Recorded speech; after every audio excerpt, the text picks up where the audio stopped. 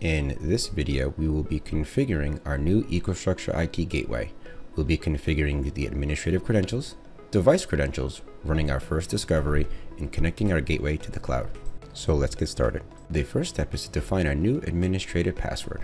Once completed, our deployment wizard will guide us through the steps required to successfully deploy the gateway. On the device configuration page, we will define our discovery and polling credentials for the different communication protocols, as well as administrative credentials for the network management cards to enable features such as mass configuration and firmware upgrades. In this example, I'll be defining multiple device discovery credentials for the different locations within my deployment. This is extremely helpful if you have multiple locations with different polling credentials. Here I will be defining a second floor, a third floor, and a NetBotz discovery credentials. With the power of editing, let's transition to when this step was completed. The next step is defining administrative credentials for our APC network management cards, allowing EcoStruxure IT Expert to assist with features such as mass configuration and device firmware upgrades.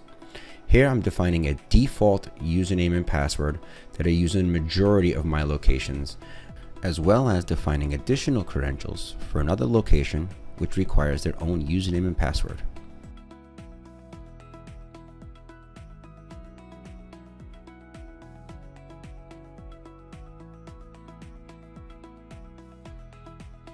Now that my device credentials are configured, let's move on to running our first discovery by clicking next.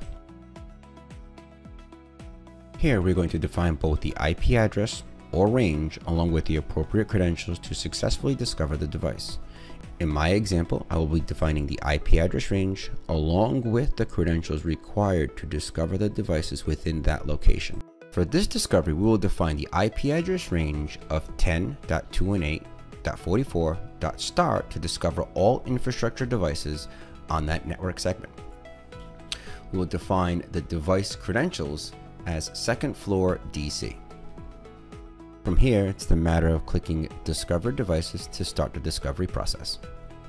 While that initial discovery is running, let's go ahead and discover additional subnets and networks. Again, for the sake of time, let's just fast forward to the completion of the discoveries. Upon completion of the device discoveries, we can take a look at the device log file to obtain insights to which devices were not successfully discovered. Within the log file, you can uncover information to help guide you through troubleshooting, diagnosing unsuccessful discoveries. Here, we can see a number of connection failures which would indicate a lack of response from the device via the communication protocol specified. Additionally, we can leverage the main discovered device page to quickly identify devices along with potential fix recommendations for successful discoveries of devices, as well as add a new device credential settings to rerun a discovery. Now let's click next to register our EcoStruxure IT Gateway to our EcoStruxure IT Cloud organization. As we can see in this window, our gateway is able to reach our EcoStruxure IT Cloud. The next step would be to click on the blue Register Gateway to connect the EcoStruxure IT Gateway to our EcoStruxure IT Cloud. Here, we're going to click Login to log into our EcoStruxure IT Cloud to start the registration process. Here on this page, we are defining the gateway name as well as enabling automatic upgrade allowing Schneider Electric to automatically upgrade the gateway when a new version becomes available. The very last step is clicking connect.